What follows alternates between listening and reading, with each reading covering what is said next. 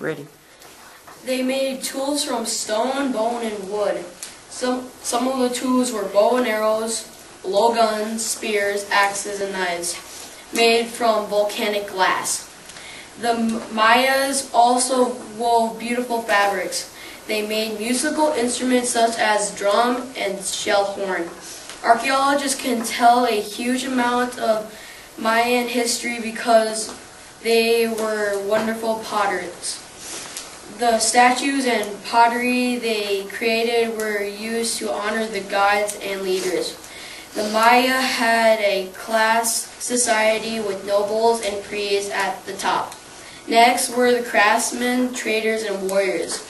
Then was the farmers, workers, and slaves. The, Maya, the Mayans worshiped the nature gods every day. Some of the gods were the sun god, Lady Rainbow, the god of rain, and the god of maize or corn. The Mayans usually buried their dead under their floorboards of their house. They, though, that way, they felt they would always be with their ancestors. The nobles would bury, bury in tombs not under the floor. The underworld was very complicated. It was composed of three layers, heaven, earth, and underworld.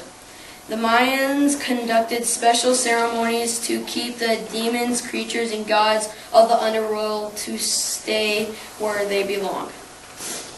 The Mayans hunted wild turkey, monkeys, deer, and ducks. Some of the crops they planted were sweet potatoes, beans, chili, corn, and squash. Some was corn was the main crop they planted. Some say the May, Mayans made first chocolate, but others disagree. What the Mayans were, it actually depended on their region.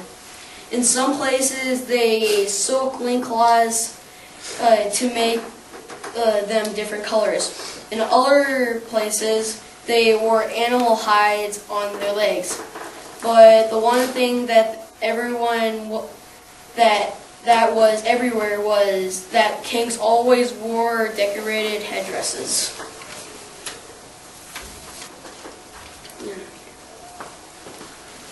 Um, here's the tomatoes we made.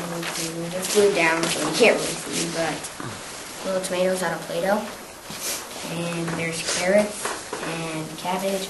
Here's the bow and the arrow, kind of fell apart. And the glasses, and there's corn right here.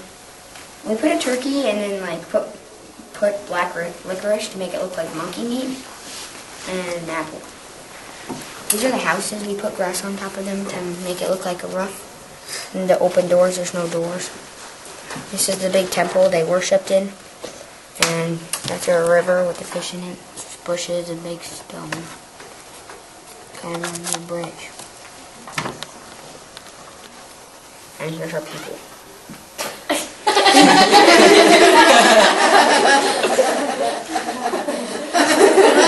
Want to say anything? Nothing to say, Max? No. Well, the Maya people usually painted themselves well, with, they usually painted themselves and put tattoos on themselves. And that's what the Maya warriors do so they would become more fiercer. Say something. Say one word. Just keep the game with her. Okay, good job. Anything, Olivia, you want to add? Okay, well, th- okay.